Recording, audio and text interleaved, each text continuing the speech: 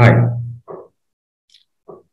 ladies and gentlemen, boys and girls. I'm Dr. Ansar Ahmad, having more than 20 years of teaching, learning, and research experience. And in this video, I'm going to share what is ZigBee, how it is differ with other IoT gateways.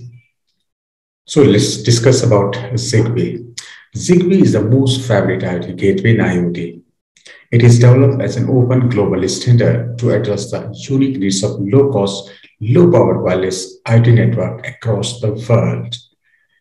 ZigBee is called a development short-range, low-energy, low-cost wireless networking technology that is 10 to 100 meters in range. Low energy that consumes only 100 milliwatt power. Low-cost wireless networking because it uses unlicensed frequency spectrum.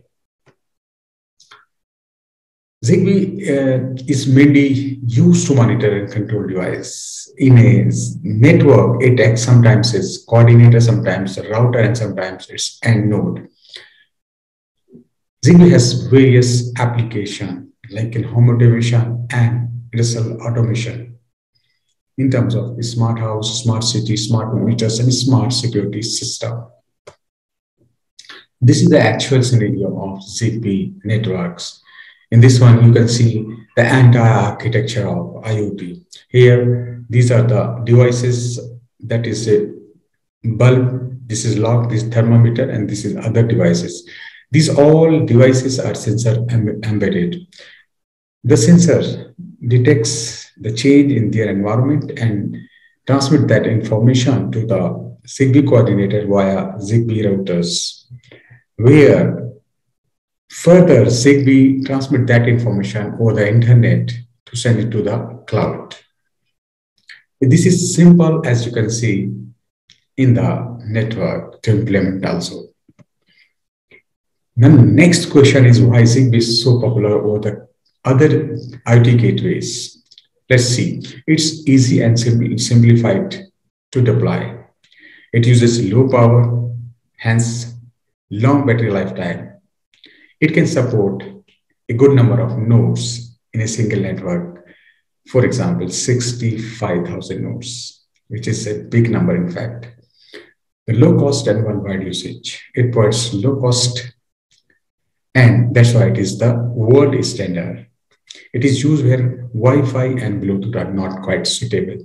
It is becoming popular day by day because it is the replacement of Wi-Fi and Bluetooth it means that where we can't use Wi-Fi and Bluetooth, we can use ZigBee over there.